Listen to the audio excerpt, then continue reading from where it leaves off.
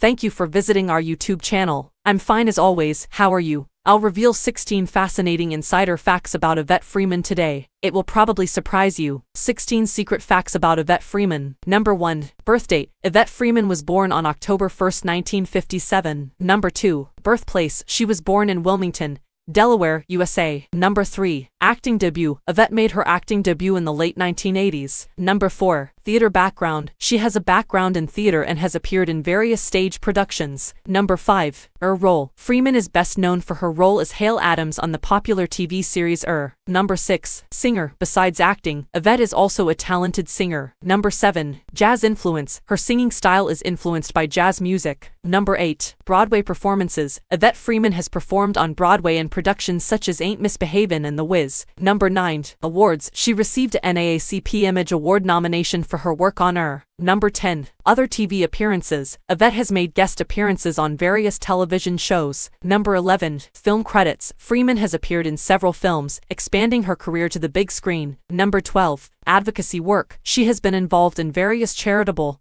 and advocacy activities. Number 13. Education. Yvette Freeman attended the University of Delaware. Number 14. Family life. Details about her family life are generally kept private. Number 15. Voice acting. She has lent her voice to animated projects and commercials. Number 16. Personal privacy. Yvette Freeman values her personal privacy and keeps a low profile in the media. Thank you for watching. Love you all. See you in next video. Bye.